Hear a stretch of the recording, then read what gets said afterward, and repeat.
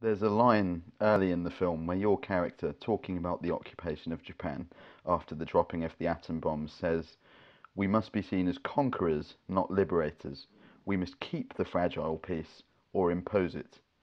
This seems to echo through a lot of recent American military history, and at that moment the film feels less like a period piece and actually startlingly relevant to our times. Uh, was that part of the appeal for you? I think so. I think that's um, that's a keen observation, and uh, I'm happy that yeah. I mean, I feel like the movie obviously takes place in 1945 um, at the close of uh, of another conflict, but um, hopefully it has elements, and hopefully for people that see it and experience the film and pay close attention and sort of um, that they will see parallels and that they will sort of be able to um, make it feel more relevant to some of the things that are going on in the world today and, and some of the roles that certain nations are playing. And yeah. The bombs being dropped is obviously one of the biggest events of human history. I'm presuming at school you were taught from a mostly American perspective. How did making this film make you rethink what you might have already known about the Japanese occupation? Uh, well, I mean, unfortunately, I really feel like, um,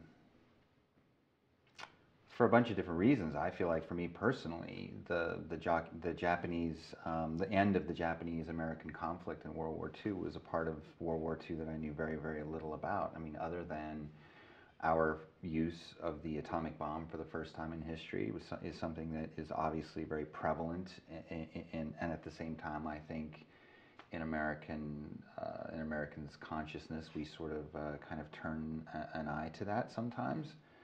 I also think that what was going on in Europe, uh, in Germany, and the Holocaust, and the, the, the horror of that is is something that has dominated most of our consciousness about the end of World War II and World War II period, what was going on.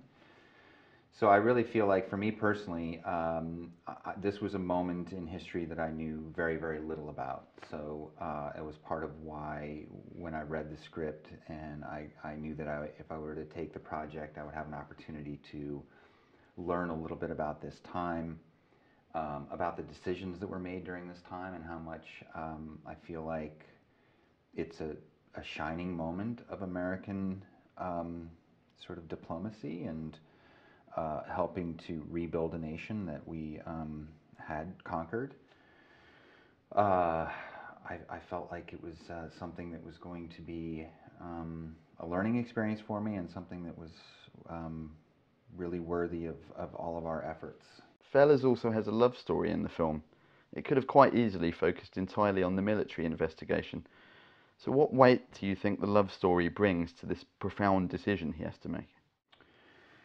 Uh, well, I mean, the love story uh, for me personally, I was really moved by the love story when I read the script, and it was a big reason why um, I was attracted to it. I have to say, you know, sort of on a more of a global concept of the story and of that moment in time, and about two nations that have been at war and so many lives lost.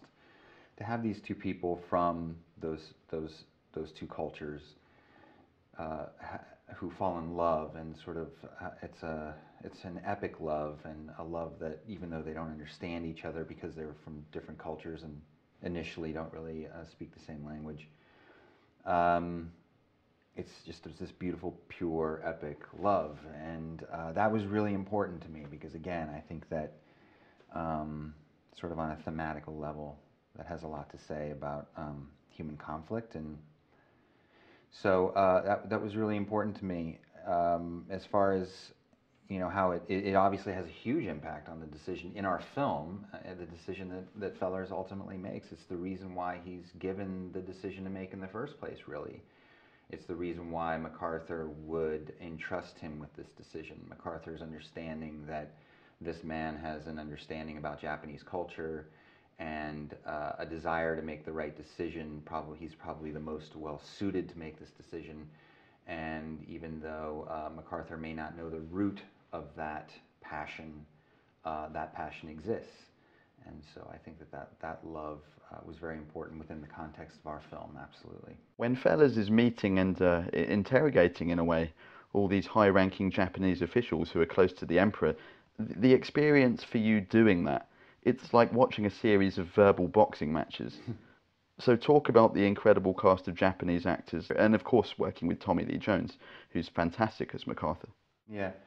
Uh, well, the the working with all the Japanese actors was just a, an enormous. Uh, it was an incredible pleasure, and uh, I feel really honored to have worked with all of them. And um, I've always felt that uh, anytime I've been exposed to sort of the Japanese style of acting, it feels to me that they have their own style of carrying themselves in the way that uh, there's a certain stillness and strength, and I think that um, comes from their their theater tradition. But um, I, I was very, it was it was really uh, a challenge, and I felt like I learned a lot, and I really enjoyed that aspect of it.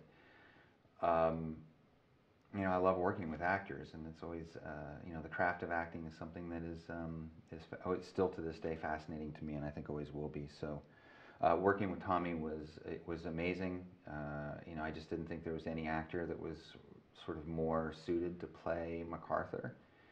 Um, and at the same time, I couldn't wait to see what he was going to bring to it because he's such a presence as himself, Tommy Lee Jones, and um, you know he's playing a character that we that that, it, that we know a lot about historically and has his and, and had his own sort of presence and uh, manifestations of his own ego. And so it was interesting to see uh, i was really interested to see how tommy was going to sort of reconcile those two and i thought he just did an excellent job